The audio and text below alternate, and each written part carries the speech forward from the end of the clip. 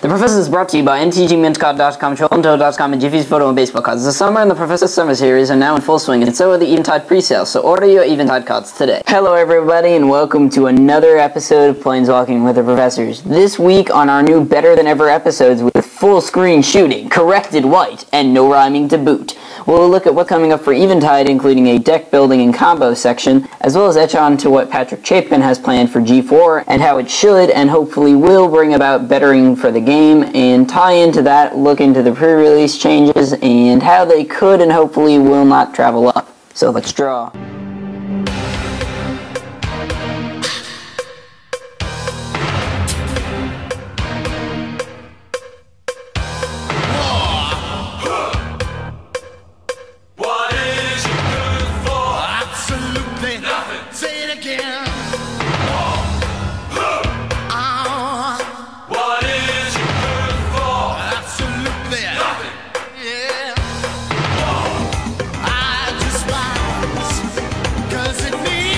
So this type of show is back, and out of its WTF rhyming, why the heck did you do all that rhyming, Trance? And as such, I'm ready to look at the Eventide glass half full again. So to begin, the cards are all here to stay, and I think everybody's had some wacky ideas over the last week. Uh, Helix Pinnacle format, anyone? Yet still, through all that, Fairies has its resilience and will stick around in the metagame for a long while to come. Kithkin can't really compete, and Cryptic Command and those 4-4 giant flyers just laugh at that figure of destiny, fire at will, hallowed burial, and I'll even go as far to say they laugh at Gaddock Teeg. So for block, eh, it doesn't look very hopeful.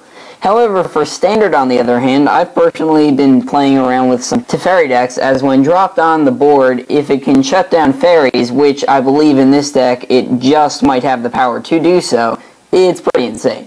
The green-blue deck I've been working on seems to perform quite well using Cryptic Commands, Rune Snags, Augury Adept with an Aura or two, and Kitchen Finks to keep you alive in the early to mid-game, as well as Teferi and even Overbeing of Myth, yep, to sustain you in the later game. Previously on the Shadowmoor deck building special, many people questioned my deck building skills, but remember, it is the context of a deck that makes the card what it is. All those combo cards would be useless if they weren't together, right? And what about Patrick Chapin? Who would he be if he didn't use all those, er, er, super techie innovations?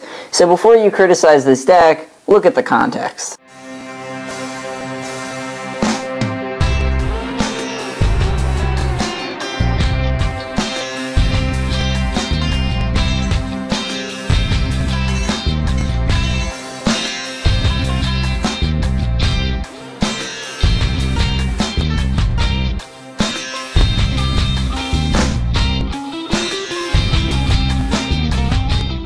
The sideboard is our key to beating fairies, as I believe the underplayed Vexing Shusher and Guttural response came in quite handy in his second and third games. The deck overall had a 5-1 performance against the average fairies, as well as losing to an elemental deck once but beating another twice, and finally tromping over a Helix Pinnacle deck after countering his mana reflection both games. The idea for the deck was based around an interview with a pre-release player and viewer of the show, as well as the belief that Teferi had some great use and just needed the right cards to back it up for the late game. I've also been developing a red-blue deck that to Chapin's Miss Glee will not be using Noggles, but rather the retrace ability, as I think we've got some expectations for that in Storm or Metamorphose and such cases.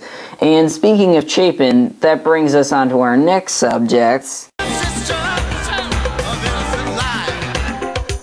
Ladies, take So Patrick Chapin's show is well underway and being recorded right now in Chicago. From what we've heard so far, we can tell you that his first show will be based around testing for worlds, involving some serious players with some serious skills, including Gabriel Nassif, who's been seen there in Worlds a couple of times, as well as Mark Halls using Heasy Street, remember, and possibly even Jon Finkel. Do I even need to give him a title? So stay tuned to our show for more info on Chapin's show, for more intro on Magic, for more intro on our show. However, that's not all I wanted to cover in this segment. I had also wanted to touch upon a much needed to be elaborated upon subject being the changes to the pre-releases. Now, while I had originally had a bad feeling in my stomach in the first place, this feeling has only gotten worse. Why? Because what many did not realize is that these changes don't just affect the casual players, or the store owners, or the tournament organizers, but it also affects the competitive players. Why? Because while Scott Larabee tried to explain that this situation was a case in which the pendulum had swung in one direction in this case, in the tournament direction, and it needed to swing in the other direction, something, something like that. Um, what he meant to say was, we're really killing off the game like this, slowly, painfully, yet cruelly as what has now occurred is a long chain of events that will only trickle up as the tournament organizer is now lacking the money for PTQs as this would normally come from the pre-release will go from holding two to three PTQs a season to one or two at max. This will slowly begin driving a knife through the heart as something such as inflation kicks in and the cost of holding a PTQ, already around $3,000, steepens. However, there is a light in the dark situation, as our tournament organizer of New Jersey and Ryan Swan explained. good and bad. I mean, this is a cool thing to come here with a lot of people, eh, but I mean, obviously, I see the point that you know people don't want to drive that far.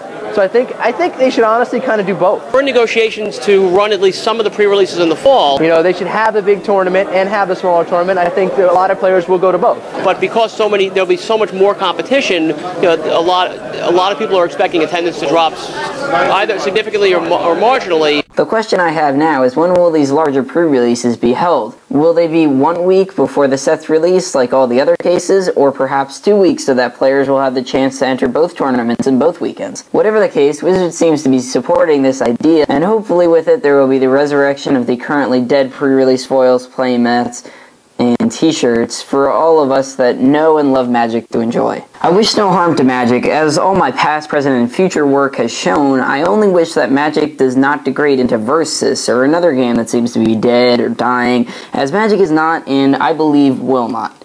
So until next time, this is the Card Professor, tapped out for now, but until the release tournament, our last one in fact, and actually it's going to be uh, two release tournaments, one for me, one for the Bird Professor. This is the Card Professor, tapped out for now, but we'll be back soon. In the long, in the long run health of the game, if more people play in pre-releases, that will hopefully strengthen the brand.